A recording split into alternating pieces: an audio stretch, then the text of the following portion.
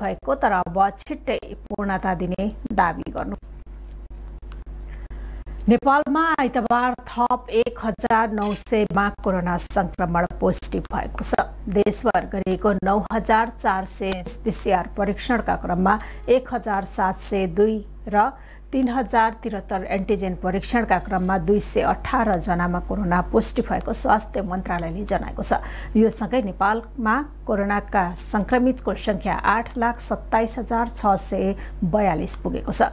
त्यस्तै कोरोनाका कारण थप चौबिसजनाको मृत्यु भएको छ। हालसम्म नेपालमा दस हजार पाँच सय नौ कोरोनाका कारण ज्यान गुमाएका छन्। त्यस्तै थप दुई हजार दुई सय अडचालिस सङ्क्रमण मुक्त हुँदा हालसम्म नेपालमा छ लाख अन्ठानब्बे हजार एक सय त्रिहत्तर मुक्त भएका छन्।